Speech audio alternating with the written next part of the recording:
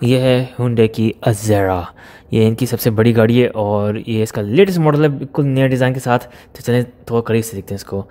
Looks wise ये गाड़ी बहुत ही खूबसूरत है। तो चलें सबसे पहले प्राइस देख लेते हैं ये।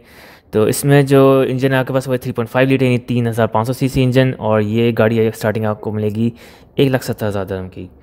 उसमें आपको अच्छी खासी चीज़ें मिलती हैं। एक तो बहुत ही बड़ी गाड़ी मिलती है, ऊपर से बिल्कुल नए डिज़ाइन की।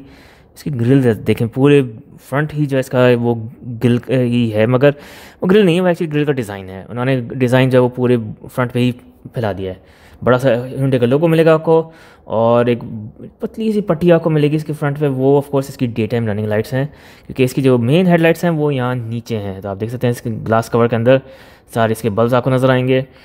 प्लस इसके अंदर उन्होंने जो वो एक फ्रेम से भी दिया हुआ है ताकि वो इसकी लुक स्पेशल कर दें। और आपको जो है वो फिर ये जहाँ लाइसेंस प्लेट लगती है, उसके ऊपर आपको नज़र आएगा कि वहाँ पे गैप्स हैं। तो वहाँ पे जो है वो ग्रिल है एक्चुअल वो स्पेस है, वहाँ से ऑफकोर्स हवा अंदर जाती है, उस रेडिएटर में वो इंजन को ठंडा रखती है। व्हील्स का जो डिज़ाइन है, वो भी बहुत डिफरेंट है और बहुत ही स्टाइलिश व्हील्स हैं, जो कि थोड़े से स्पोर्टी किस्म के हैं, जो कि मैं इस गाड़ी पे एक्सपेक्ट नहीं कर रहा था। फिर रिट्रैक्टेबल डोर हैंडल्स हैं, उस पर भी, ये देखें अजैरा का नाम लिखा हुआ है। और यही सेम ऑफ़ कोर्स पीछे के दरवाजे पे भी है। फिर पीछे आते हैं तो पीछे का डिज़ाइन भी बहुत ही डिफरेंट किस्म का है। तो इसमें जो पिलर है वो उन्होंने पूरा जो है वो पीछे तक खींचा हुआ है। बिल्कुल एक शूटिंग ब्रेक स्टाइल दिया हुआ है।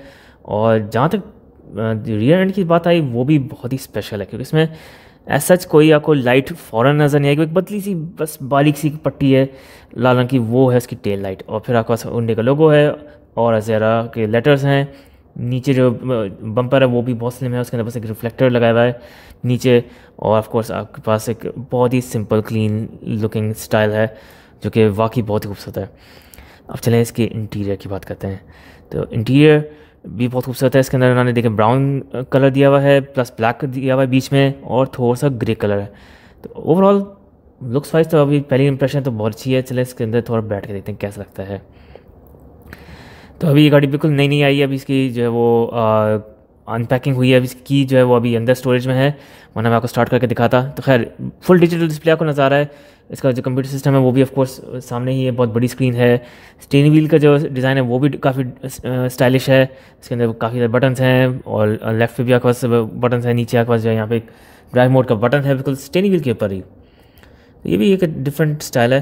अच्छा गियर चेंज करना है आपको तो इसमें आपके पास ना सिर्फ़ पैडल शिफ्टर्स है बल्कि एक ऑफकोर्स स्टिक है। वो देखें ये आ, इसको आप मूव करेंगे इस बार किस तरह से रोटेट करेंगे तो गियर चेंज होगा। और प्लस पार्किंग के लिए जो है वो बटन भी दिया हुआ है। तो ये स्टिक जो हिलती नहीं है बस ये सिर्फ़ आप उसको घुमा सकते हैं। बाकी जो एक्स्ट्रा फीचर्स हैं वाइपर शाइपर उसके लिए बटन उसकी जो स्टिक उसके लिए स्टिक वो मूव करती है। तो ओवरऑल इंटीरियर बहुत ही स्पेशियस आपका बहुत ही खूबसूरत जो है वो डैश है। और फिर आपके पास ग्रिल है क्लाइमेट कंट्रोल बटन्स हैं और उसमें जो है आपका शॉर्टकट्स भी हैं। ऊपर वहाँ पे हैजर्ड लाइट का बटन्स भी है और नीचे आकर जो है वो फ़ोन चार्जिंग के लिए जगह है।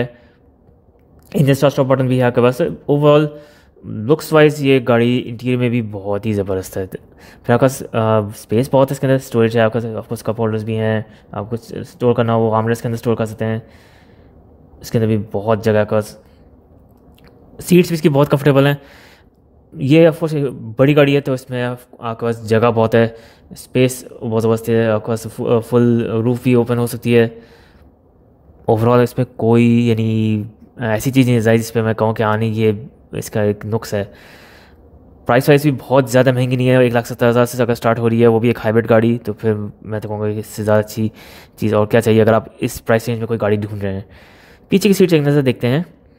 तो पीछे भी आपका वही सेम ब्राउन सीट्स हैं और ऑफ़ कोर्स बीच में आपका जो फोल्डेबल सीट है, उसमें वो उसको खोलेंगे तो आपका आमरेस्ट और स्टोरेज स्पेस आ जाती है। लेग स्पेस हेड स्पेस बहुत है। आराम से आप इसके अंदर बैठ सकते हैं।